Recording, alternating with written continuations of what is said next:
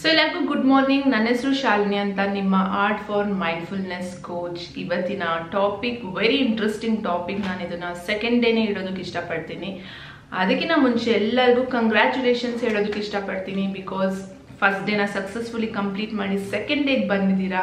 ಇವತ್ತಿನ topic stress and anxiety ಈ topic ನಾನು ಯಾಕೆ ಸೆಕೆಂಡ್ ಡೇ ಇಟ್ಟಿದ್ದೀನಿ ಅಂದರೆ ವೆರಿ ಇಂಪಾರ್ಟೆಂಟ್ ನೆಕ್ಸ್ಟ್ ಬರೋವಂಥ ಸ್ಟೆಪ್ಸ್ನ ನೀವು ಪ್ರಾಪರಾಗಿ ಕಂಟಿನ್ಯೂ ಮಾಡಬೇಕು ಅಂದರೆ ನಿಮ್ಮ ಸ್ಟ್ರೆಸ್ ಮತ್ತು ಆಂಗ್ಸೈಟಿನ ಹೇಗೆ ಕಂಟ್ರೋಲ್ ಮಾಡೋದು, ಹೇಗೆ ರೆಡ್ಯೂಸ್ ಮಾಡೋದು ಅನ್ನೋದನ್ನ ನೀವು ತಿಳ್ಕೊಂಡಿರಬೇಕು. ಸ್ಟ್ರೆಸ್ ಆ್ಯಂಡ್ ಆಂಗ್ಸೈಟಿ ಎಲ್ಲರಿಗೂ ಆಗುತ್ತೆ ಡಿಫ್ರೆಂಟ್ ಲೆವೆಲ್ಸ್ನಲ್ಲಿ ಆಗುತ್ತೆ. ಈಚ್ ಆ್ಯಂಡ್ ಎವ್ರಿಥಿಂಗ್ ಟೆನ್ಷನ್ ತೊಗೊಳೋದು it's a kind of stress stress ಯಾಕಾಗುತ್ತೆ ತುಂಬ ರೀಸನ್ ಇದೆ.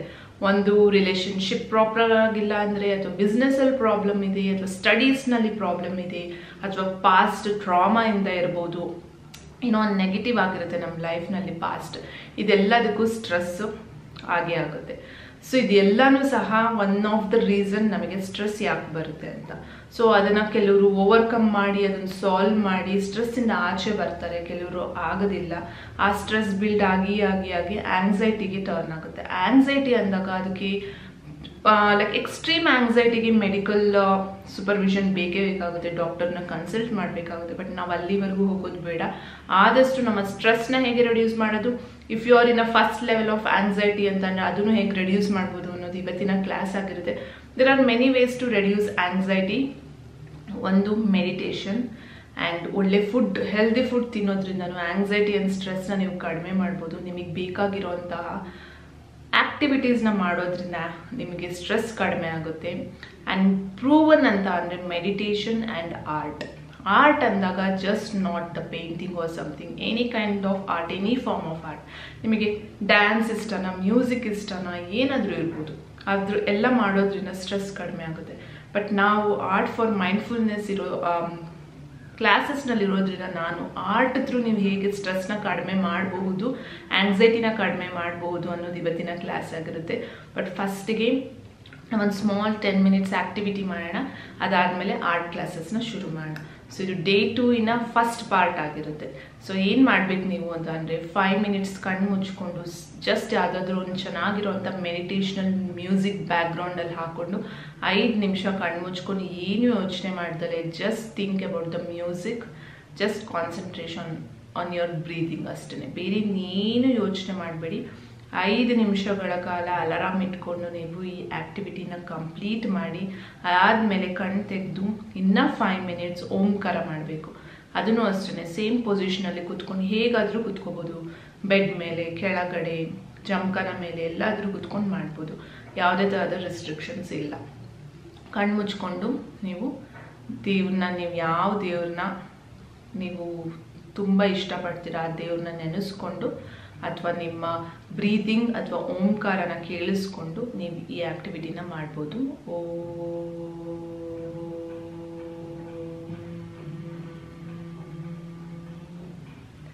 ಸೊ ಎಷ್ಟು ಸಾಧ್ಯನೋ ಅಷ್ಟು ನೀವು ನಿಮ್ಮ ರೆಸ್ಪಿರೇಟ್ರಿ ಮೇಲೆ ನೀವು ಕಾನ್ಸಂಟ್ರೇಟ್ ಮಾಡಿ, ನಿಮ್ಮ ಬ್ರೀದಿಂಗ್ ಮೇಲೆ ನಿಮ್ಮ ಓಂಕಾರನ ಕೇಳಿಸ್ಕೊಳ್ಳಿ.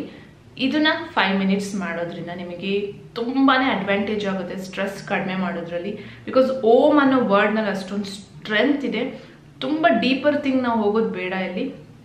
ಈ ಎರಡು ಆ್ಯಕ್ಟಿವಿಟೀಸ್ನ ನೀವು ಕಂಪ್ಲೀಟಾಗಿ ಮಾಡಿಬಿಟ್ಟು ಪಾರ್ಟ್ ಟೂಗೆ ನಾನು ನಿಮ್ಮೆಲ್ಲರನ್ನೂ ಮೀಟ್ ಮಾಡ್ತೀನಿ. ಸೊ ಪಾರ್ಟ್ ಟೂನಲ್ಲಿ ಇಟ್ಸ್ ಮೋರ್ ಲೈಕ್ ಎಕ್ಸೈಟಿಂಗ್ ತುಂಬ ಚೆನ್ನಾಗಿರೋವಂಥ ಆರ್ಟ್ ಆ್ಯಕ್ಟಿವಿಟಿ ಬರ್ತಾ ಇದೆ. ನಿಮ್ಮೆಲ್ಲರಿಗೂ ಇಷ್ಟ ಆಗುತ್ತೆ ಅಂತ ಅಂದ್ಕೊಳ್ತೀನಿ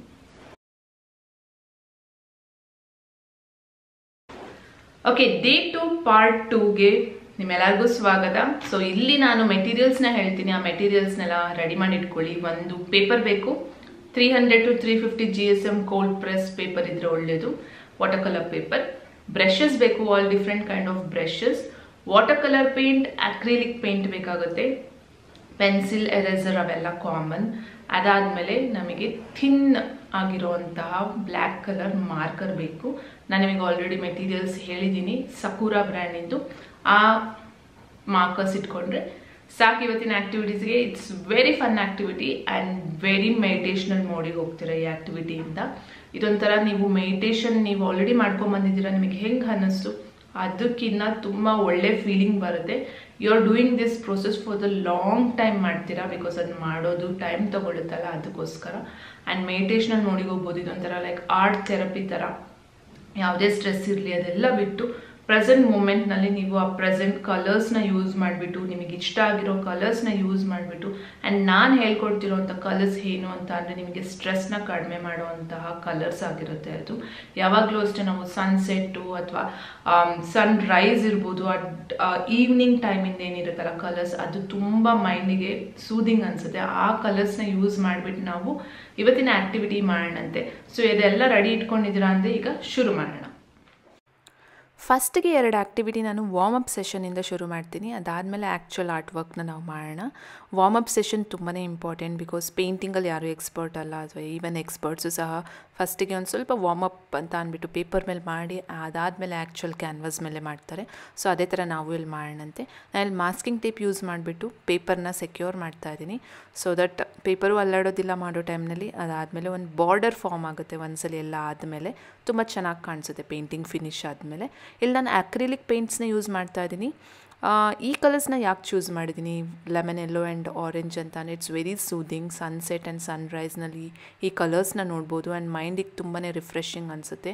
When you are very much stressed ಅಲ್ಲ ಆ್ಯಂಗ್ಸೈಟಿ ಇರುತ್ತೆ ಆ್ಯಂಡ್ ವೆರಿ ಮಚ್ ಫ್ರಸ್ಟ್ರೇಟೆಡ್ ಈ ಕಲರ್ಸ್ನಲ್ಲಿ ನಾವು ವರ್ಕ್ ಮಾಡೋದ್ರಿಂದ ನಮಗೆ ತುಂಬಾ ರಿಲ್ಯಾಕ್ಸ್ ಫೀಲ್ ಆಗುತ್ತೆ. ಆ್ಯಂಡ್ ನಿಮ್ಮ ಸ್ಟ್ರೆಸ್ನ ನೀವು ಆದಷ್ಟು ರೆಡ್ಯೂಸ್ ಮಾಡ್ಬೋದು. ಸೊ ಇದನ್ನು ಪ್ರಾಕ್ಟೀಸ್ ಮಾಡೋದ್ರಿಂದ ನಿಮ್ಮ ಸ್ಟ್ರೆಸ್ನ ನೀವು ಕಂಟ್ರೋಲ್ನಲ್ಲಿ ಇಟ್ಕೋಬೋದು ಆ್ಯಂಡ್ ತುಂಬಾ ಬೆನಿಫಿಟ್ಸ್ ಆಗಿದೆ ಈ ಥರ ಬ್ಲೆಂಡಿಂಗ್ ಮೆಥಡ್ನ ಮಾಡಿ ನಮ್ಮ ಸ್ಟ್ರೆಸ್ನ ಕಡಿಮೆ ಇಡೋದು. ತುಂಬ ಜನಕ್ಕೆ ಹೆಲ್ಪ್ಫುಲ್ ಆಗಿದೆ. ಐ ಹೋಪ್ ನಿಮಗೂ ಹೆಲ್ಪ್ಫುಲ್ ಆಗುತ್ತೆ ಅಂತ ಅಂದ್ಕೊಳ್ತೀನಿ ಇದರಲ್ಲಿ ನೀವು ಯಾವುದೇ ಥರದ ಟೆಕ್ನಿಕ್ಸ್ ಇಲ್ಲ ಜಸ್ಟ್ ಪೇಂಟ್ ವೆಟ್ ಇದ್ದಾಗಲೇ ಬ್ಲೆಂಡ್ ಮಾಡ್ಕೊಳ್ತಾ ಹೋಗಬೇಕಷ್ಟೇ ಯಾವುದೇ ಥರದ ಡ್ರೈ ಆಯಿತು ಅಂದರೆ ಸ್ವಲ್ಪ ವಾಟರ್ ಮಿಕ್ಸ್ ಮಾಡಿಬಿಟ್ಟು ನೀವು ಬ್ಲೆಂಡ್ ಮಾಡ್ತಾ ಶುರು ಮಾಡಿ ಅಷ್ಟೇ ತುಂಬ ಸಿಂಪಲ್ ಟೆಕ್ನಿಕ್ಸ್ ಫಸ್ಟಿಗೆ ಒಂದು ಐಡಿಯಾ ಬರೋವರೆಗೂ ನೀವು ಪ್ರಾಕ್ಟೀಸ್ ಮಾಡಿ, ಅದಾದಮೇಲೆ ಡೆಫಿನೆಟ್ಲಿ ನಿಮಗೆ ಐಡಿಯಾ ಬಂದಮೇಲೆ ನೀವು ಎಕ್ಸ್ಪರ್ಟ್ ಆಗ್ತೀರಾ ಬ್ಲೆಂಡಿಂಗ್ನಲ್ಲಿ ತುಂಬ ಈಸಿಯಾಗಿ ಹೋಗ್ಬಿಡುತ್ತೆ ಅದಾದಮೇಲೆ.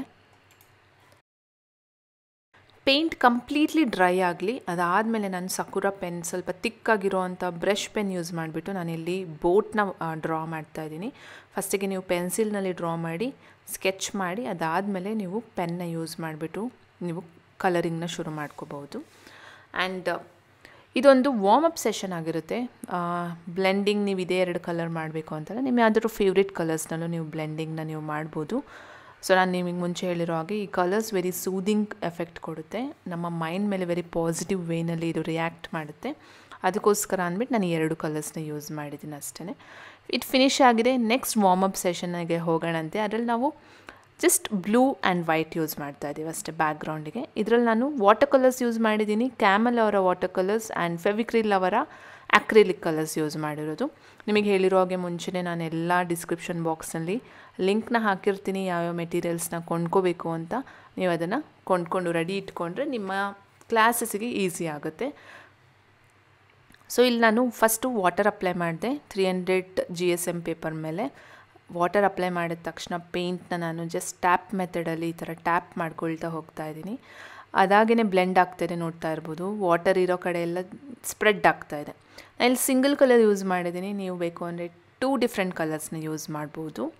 ಆ್ಯಂಡ್ ಇದರಿಂದ ತುಂಬಾ ವೆರಿ ವೆರಿ ಸೂದಿಂಗ್ ಎಫೆಕ್ಟ್ ಅನಿಸುತ್ತೆ. ಎಸ್ಪೆಷಲಿ ಆ ವಾಟರ್ ಸ್ಪ್ರೆಡ್ ಆಗುತ್ತಲ್ಲ ಪೇಂಟ್ ಸ್ಪ್ರೆಡ್ ಆಗೋದು ನೋಡೋದು ನೋಡೋದು ತುಂಬಾ ಚೆನ್ನಾಗಿ ಅನಿಸುತ್ತೆ. ಅದರಲ್ಲೂ ನೀವೇ ಮಾಡಿದಾಗ ಯು ಫೀಲ್ ಡೆಫಿನೆಟ್ಲಿ ಲೈಕ್ ಏನು ವೆರಿ ರಿಲ್ಯಾಕ್ಸ್ಡ್ ಫೀಲ್ ಅನಿಸುತ್ತೆ. ಆಗಿದೆ. ನಾನು ಬಟ್ಟೆ ತೊಗೊಂಡು ಸ್ವಲ್ಪ ಎಕ್ಸಸ್ ವಾಟರ್ ಎಲ್ಲ ತೆಗೆದುಬಿಟ್ಟೆ. ಆ್ಯಂಡ್ ಫಿಫ್ಟೀನ್ ಮಿನಿಟ್ಸ್ ಡ್ರೈ ಆದಮೇಲೆ ಬ್ರಷ್ ಪೇಂಟ್ ಯೂಸ್ ಮಾಡಿಬಿಟ್ಟು ಬ್ರಷ್ ಪೆನ್ ಯೂಸ್ ಮಾಡಿಬಿಟ್ಟು ಇದ್ರ ಮೇಲೆ ಬರೀತಾ ಇದ್ದೀನಿ. And you can use sketch pen also ಒಣಗಿದ ಮೇಲೆ ನೀವು ಯಾವ ಪೆನ್ ಯೂಸ್ ಮಾಡಿದ್ರು ಪ್ರಾಬ್ಲಮ್ ಇಲ್ಲ. ಏನೂ ಸ್ಪ್ರೆಡ್ ಆಗೋದಿಲ್ಲ. ಬಟ್ ಒಣಗಿಲ್ಲ ಅಂದರೆ ಸ್ಪ್ರೆಡ್ ಆಗೋ ಚಾನ್ಸಸ್ ಇರುತ್ತೆ. ಸೊ ಎರಡು ವಾರ್ಮಪ್ ಸೆಷನ್ ಮುಗೀತು. ನೆಕ್ಸ್ಟ್ ಆ್ಯಕ್ಚುಯಲ್ ಪೇಂಟಿಂಗಿಗೆ ಹೋಗೋಣ. ಅದರಲ್ಲೂ ಸಹ blending ಮೆಥಡೆ this is all about blending classes and stress and anxiety ಈ ಬ್ಲೆಂಡಿಂಗ್ ಮೆಥಡ್ ಮಾಡೋದ್ರಿಂದ ತುಂಬ ಕಡಿಮೆ ಆಗುತ್ತೆ.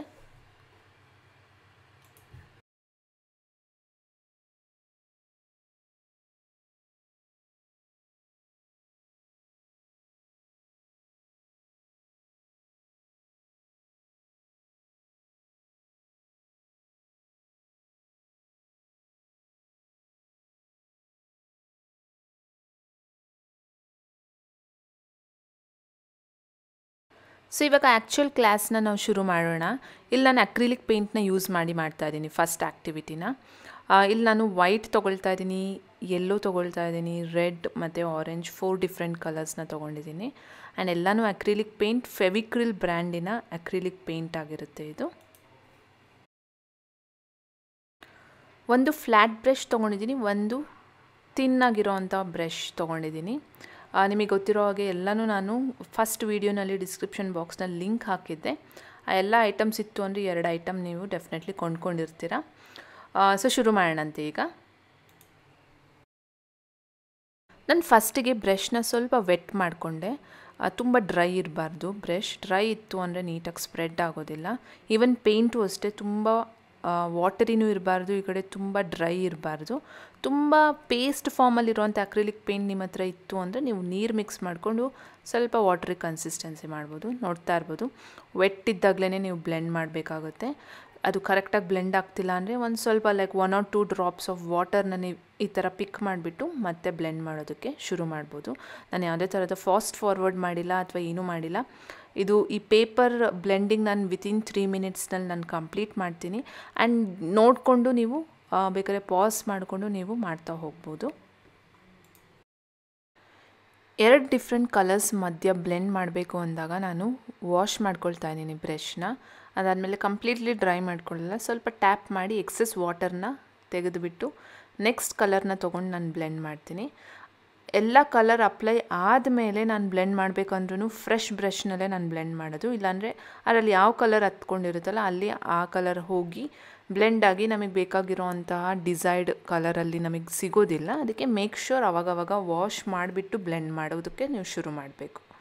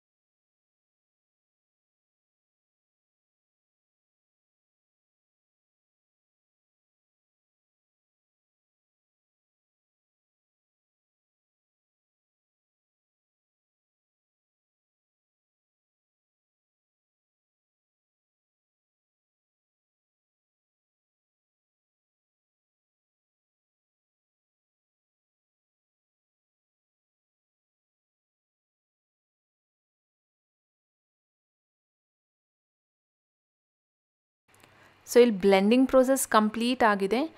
ನಾನಿಲ್ಲಿ ಈ ಥರ ಕಲರ್ಸ್ ಯೂಸ್ ಮಾಡಿದ್ದೀನಿ. ಒಂದು ಮುಂಚೆನೇ ನಾನು ಮಾಡಿ ಇಟ್ಕೊಂಡಿದ್ದೆ ಕ್ಲಾಸಸ್ಸಿಗೆ ಅಂತಲೇ ಅದು ಈ ಕಲರ್ಸ್ನ ಯೂಸ್ ಮಾಡಿದ್ದೀನಿ. Just yellow orange black use ಮಾಡಿದ್ದೀನಿ ಅಷ್ಟೇ ಇಲ್ಲಿ yellow orange red and white use ಮಾಡಿರೋದು ಇದರಲ್ಲಿ ಅಷ್ಟೇ ಡಿಫ್ರೆನ್ಸ್ ಸೊ ನಿಮ್ಗೆ ಏನಾದರೂ ಬ್ಯಾಕ್ಗ್ರೌಂಡ್ನಲ್ಲಿ ಹಾಕೋದು, ನಿಮ್ಗೆ ಇಷ್ಟ ಬಂದಿದ್ದು ಕಲರ್ಸ್ ಹಾಕ್ಬೋದು ಆ್ಯಂಡ್ ಡೈಲಿ ಒಂದೊಂದು ಪೇಜ್ ಮಾಡಿ you feel much much better and ಅದರ ಮೇಲೆ ಕೋಟ್ಸ್ನ ಬರಿಬೋದು ಪ್ರೆಸೆಂಟ್ ಮಾಡ್ಬೋದು ಬೇರೆಯವರಿಗೆ. ಈಗ ನಾನು ಬ್ರ್ಯಾಂಚಸ್ನ ಮಾಡ್ತಾಯಿದ್ದೀನಿ ಫಸ್ಟಿಗೆ ನಾನು ಪೇ ಪೆನ್ಸಿಲ್ನಲ್ಲಿ ಬ್ರ್ಯಾಂಚಸ್ನ ಬರ್ಕೊಂಡೆ. ಅದಾದಮೇಲೆ ನಾನಿಲ್ಲಿ ಬ್ರೌನ್ ಕಲರ್ ಪೇಂಟ್ ಯೂಸ್ ಮಾಡ್ತಾ ಇದ್ದೀನಿ. Same again acrylic colour Fevicryl ಬ್ರ್ಯಾಂಡಿಂದು ಎಲ್ಲ ಬ್ರ್ಯಾಂಚಸ್ನ ಹಾಕ್ಕೊಳ್ತಾ ಇದ್ದೀನಿ ಫಸ್ಟಿಗೆ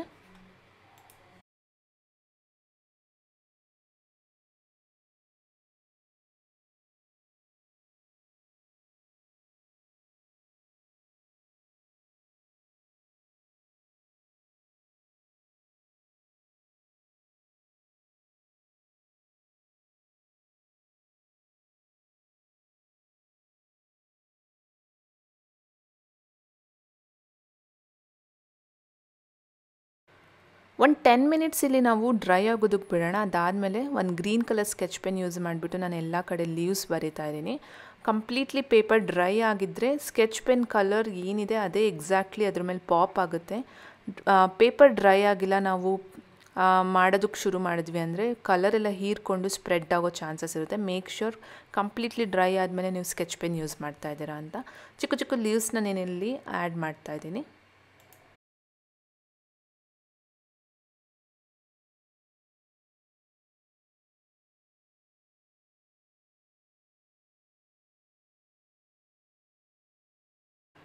ಇಲ್ಲಿ ನಾನು ಸಕೂರ ಅವರ ಝೀರೋ ಏಯ್ಟ್ ಸೈಜ್ ಬ್ರಷ್ನ ತೊಗೊಂಡ್ಬಿಟ್ಟು ನಾನು ಇಲ್ಲಿ ಡ್ರಾಯಿಂಗ್ನ ಡೈರೆಕ್ಟಾಗಿ ಬಿಡಿಸ್ತಾ ಇದ್ದೀನಿ ಲ್ಯಾಂಟೇನ್ನ ಮಾಡ್ತಾ ಇದ್ದೀನಿ ಇಲ್ಲಿ.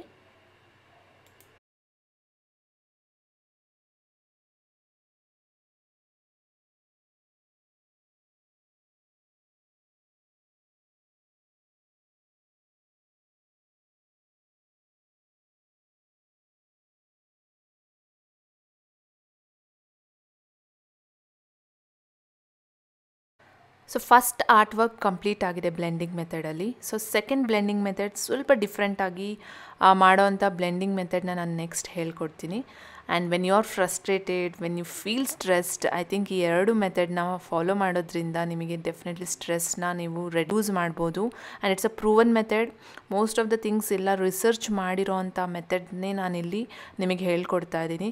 ಸೊ ಡೆಫಿನೆಟ್ಲಿ ಇದು ಹೆಲ್ಪ್ಫುಲ್ ಆಗೇ ಆಗುತ್ತೆ ನಿಮಗೆ.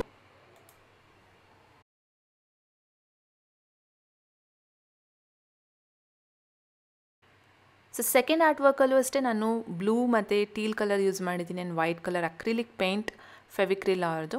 ಪೇಪರ್ನ ನಾನು ಟೂ ಡಿಫ್ರೆಂಟ್ ಪಾರ್ಟ್ಸಿಗೆ ಡಿವೈಡ್ ಮಾಡ್ತಾ ಇದ್ದೀನಿ. ಒಂದು ಕಲರ್ ಪೆನ್ಸಿಲ್ ಯೂಸ್ ಮಾಡಿಬಿಟ್ಟು. ಮೇಲ್ಗಡೆ ಸ್ಕೈ ಬರುತ್ತೆ, ಕೆಳಗಡೆ ನೀರಿರುತ್ತೆ ಆ್ಯಂಡ್ ಇದರಲ್ಲೂ ಅಷ್ಟೇ ಡಿಫ್ರೆಂಟ್ ಟೆಕ್ನಿಕ್ನ ಯೂಸ್ ಮಾಡಿಬಿಟ್ಟು ಬ್ಲೆಂಡ್ ಮಾಡ್ತೀವಿ. ಇಲ್ಲಿ ಏನು ಹೇಳೋದಕ್ಕೆ ಇಷ್ಟಪಡ್ತೀನಿ ಅಂತಂದರೆ ಏನೇ ಪ್ರಾಬ್ಲಮ್ಸ್ ಇರಲಿ ಅಥವಾ ಏನೇ ನಮ್ಮ ಲೈಫ್ನಲ್ಲಿ ಇಶ್ಯೂ ಆಗ್ತಾ ಇರಲಿ, ಅದು ಸ್ಟ್ರೆಸ್ ಆಗುತ್ತೆ. ಇಶ್ಯೂಸ್ನ ನಾವು ಓವರ್ಕಮ್ ಮಾಡೋವರೆಗೂ ಅದೊಂಥರ ಸ್ಟ್ರೆಸ್ಫುಲ್ ಆಗಿ ಆ್ಯಂಗ್ಸೈಟಿ ಅಟ್ಯಾಕ್ ಆಗೋದು ಆ್ಯಂಡ್ ತಲೆನೋವು ಬರೋದು ಆ್ಯಂಡ್ ಸೋ ಮೆನಿ ಇಶ್ಯೂಸ್ನ ನಾವು ಫೇಸ್ ಮಾಡ್ತೀವಿ ಲೈಫ್ನಲ್ಲಿ ಬಟ್ ಈ ಪೇಂಟಿಂಗಲ್ಲಿ ನಾವೇನು ಕಲಿತೀವಿ ಅಂತ ಅಂದರೆ, ನಾವು ಬ್ಲೆಂಡ್ ಮಾಡೋಕ್ಕೆ ಹೋದಾಗ ಅದು ಒಂದೊಂದ್ಸಲಿ ಬ್ಲೆಂಡ್ ಆಗೋದಿಲ್ಲ ಬಿಕಾಸ್ ನೀರು ಕಡಿಮೆ ಆಗಿರುತ್ತೆ. ಅಥವಾ ಅದು ಇರೋ ಬೇಕಾಗಿರೋವಂಥ ಕನ್ಸಿಸ್ಟೆನ್ಸಿ ಇರೋದಿಲ್ಲ. ಆವಾಗ ನಾವು ನಮಗೆ ಗೊತ್ತು ಇಲ್ಲಿ ನೀರು ಹಾಕ್ಬಿಟ್ಟು ನಾನು ಬ್ಲೆಂಡ್ ಮಾಡಿದ್ರೆ ಬ್ಲೆಂಡ್ ಆಗುತ್ತೆ ಅಂತ. ಅದೇ ಥರ ಲೈಫ್ನಲ್ಲೂ ಅಷ್ಟೇ ಎಲ್ಲ ಪ್ರಾಬ್ಲಮ್ಸಿಗೆ ಒಂದು ಸಲ್ಯೂಷನ್ ಅಂತ ಇದ್ದೇ ಇರುತ್ತೆ. ನಾವು ಅದನ್ನು ಐಡೆಂಟಿಫೈ ಮಾಡಬೇಕು. ಏನು ಅದಕ್ಕೆ ಸಲ್ಯೂಷನ್ ಅನ್ನೋದು?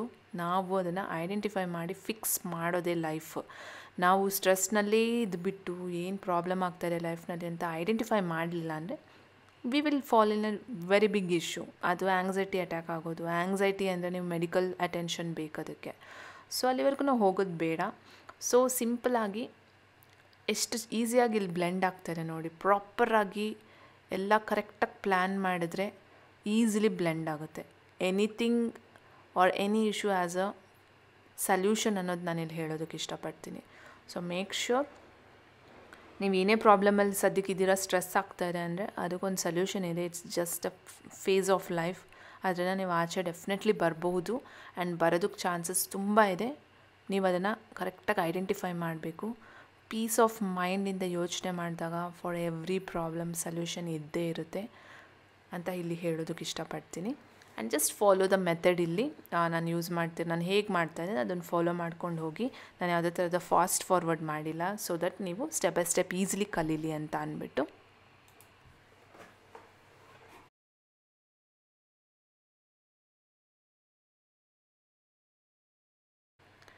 ನಿಮಗೆ ಯಾವಾಗ ತುಂಬ ಸ್ಟ್ರೆಸ್ ಅನಿಸುತ್ತೆ, ತುಂಬ ಟೆನ್ಷನ್ ಟೆನ್ಷನ್ ಅನಿಸ್ತದೆ ಅನ್ಈಸಿನೆಸ್ ಅನಿಸ್ತಾ ಇದೆ ಅಂದರೆ ಈ ಪೇಂಟಿಂಗ್ ಮಾಡೋದು ತುಂಬಾ ಉಪಯೋಗ ಆಗುತ್ತೆ ಬಿಕಾಸ್ ಇದರಲ್ಲಿ ಯಾವುದೇ ಟೆಕ್ನಿಕ್ಸ್ ಇಲ್ಲ, ಏನಿಲ್ಲ. ಜಸ್ಟ್ ಬ್ಲೆಂಡ್ ಮಾಡ್ತಾ ಹೋಗೋದು, ನಿಮಗೆ ಇಷ್ಟ ಬಂದಂಗೆ ಬ್ಲೆಂಡ್ ಮಾಡಿ ಅಲ್ಟಿಮೇಟ್ ರಿಸಲ್ಟ್ಸ್ ಡೆಫಿನೆಟ್ಲಿ ಚೆನ್ನಾಗಿ ಬಂದೇ ಬರುತ್ತೆ. ನಾನು ತೋರಿಸ್ತಾ ಇದ್ದೀನಿ ಇಲ್ಲಿ ಇದರಲ್ಲಿ ನಾನು ಯಾಕೆ ಈ ಪೇಂಟಿಂಗ್ ಪರ್ಟಿಕ್ಯುಲರಾಗಿ ತೊಗೊಂಡಿದ್ದು ಅಂದರೆ ನಿಮಗೆ ಹೇಗೆ ಬೇಕೋ ಬ್ಲೆಂಡ್ ಮಾಡ್ಬೋದು. ಓಕೆ ಒಂದು ಸ್ಮಾಲ್ ಸ್ಟ್ರೋಕ್ಸ್ನಲ್ಲಿ ಬ್ಲೆಂಡ್ ಮಾಡ್ಬೋದು, ಇಲ್ಲ ದೊಡ್ಡ ದೊಡ್ಡ ಸ್ಟ್ರೋಕ್ಸ್ ತೊಗೊಂಡು ಬ್ಲೆಂಡ್ ಮಾಡ್ಬೋದು ಇಲ್ಲಿ. ಡಿಫ್ರೆಂಟ್ ಕಲರ್ಸ್ ಯೂಸ್ ಮಾಡಿ ಬ್ಲೆಂಡ್ ಮಾಡ್ಬೋದು. ಯಾವುದೇ ಥರದ ಟೆಕ್ನಿಕ್ ಇಲ್ಲ. ಜಸ್ಟ್ ಮೇಕ್ ಶ್ಯೂರ್ ಎಲ್ಲ ಬ್ರಷ್ಷು ವೆಟ್ಟಿದೆ ಪೇಂಟು ವೆಟ್ಟಿದೆ ಆ್ಯಂಡ್ ಪೇಪರು ಸಹ ಪ್ರಾಪರಾಗಿ ಮಾಯಿಶ್ಚರ್ ಇದೆ. ಆ್ಯಂಡ್ ನೀಟಾಗಿ ಬ್ಲೆಂಡ್ ಆಗ್ತಾಯಿದ್ರೆ ಸಾಕು ಅಷ್ಟೇ ಇದರಲ್ಲಿ ಇನ್ನೇನು ಡಿಫ್ರೆಂಟ್ ಮೆಥಡ್ ಯೂಸ್ ಮಾಡೋದು ಬೇಕೇ ಆಗಿಲ್ಲ.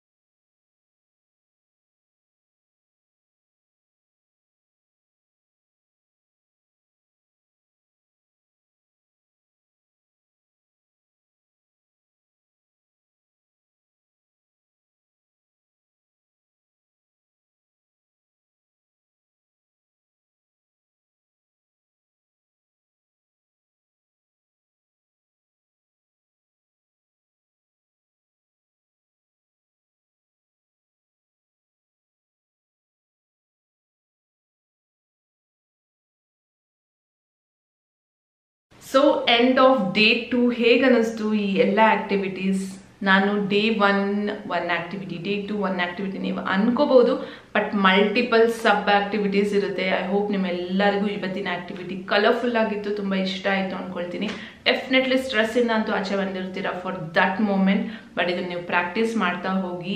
ನೀವು ಡೆಫಿನೆಟ್ಲಿ ಸ್ಟ್ರೆಸ್ನ ರಿಡ್ಯೂಸ್ ಮಾಡ್ತೀರಾ ಆ್ಯಂಡ್ ಆಂಗ್ಸೈಟಿ ಅಂತೂ ಆ ಲೆವೆಲಿಗೆ ನೀವು ಹೋಗೋದಕ್ಕೆ ನೀವೇ ಬಿಡೋದಿಲ್ಲ.